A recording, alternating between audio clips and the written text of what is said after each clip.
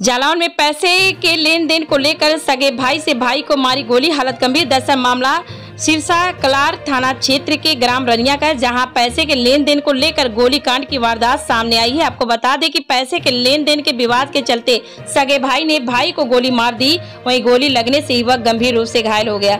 आनंद फानन में परिजनों ने युवक को राजकीय मेडिकल कॉलेज उरई में भर्ती कराया, जहाँ डॉक्टरों की टीम द्वारा इलाज के दौरान मौत हो गई। वहीं पुलिस मुकदमा दर्ज कर घटना की तफ्तीश कर कार्रवाई में जुटी हुई है।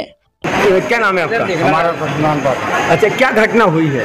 घटना ये वही कल यहाँ मकान बनवा रहा था तो श्यामजी पाठ है। हाँ, तो गाँव गया। अच्छा।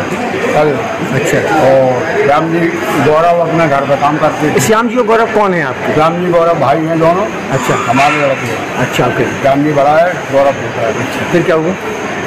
बस एक दूसरे टेंशन में रहते थे, कम बात करते थे। उसके बाद हमसे बोले कि तुम पैसा दो, हमारा लेंटर खुल रहा है, मकान बन गया।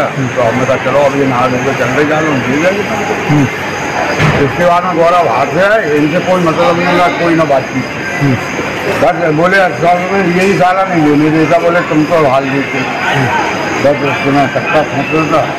दी। अच्छा बड़े भाई ने छोटे भाई को मारी श्याम जी ने गौरव को मारी। है श्याम जी ने गौरव।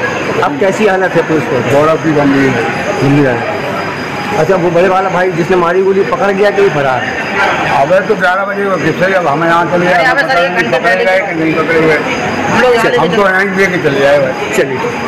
जिला जालौन थाना सिरसा ग्राम रनिया का ये मामला है। पुलिस को सूचना मिली कि एक भाई ने दूसरे भाई को गोली मार दी तमंचे से। इस सूचना पर पुलिस तत्काल मौके पर पहुँची घायल को इलाज हेतु मेडिकल कॉलेज उरई भिजवाया गया।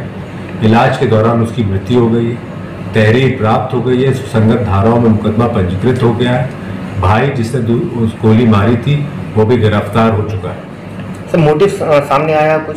जो अभी तक प्रथम दृष्टया पता चला है वो ये बात है कि दोनों भाइयों में पैसे को लेकर कोई विवाद हुआ। उस विवाद के बाद एक भाई ने दूसरे भाई को तमंचे से गोली मार